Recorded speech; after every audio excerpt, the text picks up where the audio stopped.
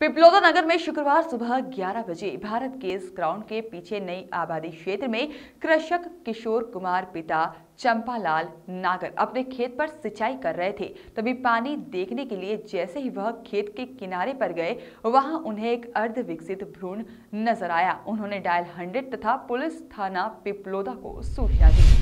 सूचना पर sub inspector Ravindra Malviya, assistant sub inspector Vijay Rao Shegokar ने मौके पर पहुंचकर पंचनामा बनाकर तथा अज्ञात के खिलाफ आईपीसी की धारा 318 में प्रकरण दर्ज कर अविकसित भ्रूण को जब्ती में लिया गया। वॉइस ऑफ़ राइट्स के लिए पिपलोदा से जेपी मालानी की रिपोर्ट।